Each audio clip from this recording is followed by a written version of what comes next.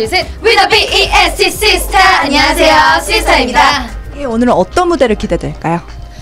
어, 뭐 저희가 항상 보여드렸던 것처럼 항상 special한 무대를 더 보여드리려고 노력하는데요. 저희가 지금 신인인데다가 데뷔한 지 얼마 되지 않아서 저희가 세 개의 싱글 앨범이 있는데요. 그 세 개의 싱글 앨범의 모든 곡들을 들려드리고 갈 생각입니다. 제일 좋아하는 미국 가수요. 어, 저희는 다 좋아하는데요. 네, 저희는 예, 비욘세 댄싱하면서. 네. 데스티니 차일드 네. 굉장히 좋아합니다.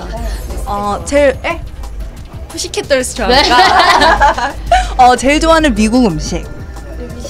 근데 저희는 원래 양식을 좀 햄버거를 양식, 좋아합니다. 예, 양식을 좋아해서요. 네. 햄버거, 피자 이런 양식도 굉장히 좋아해요. 다 잘 먹어요.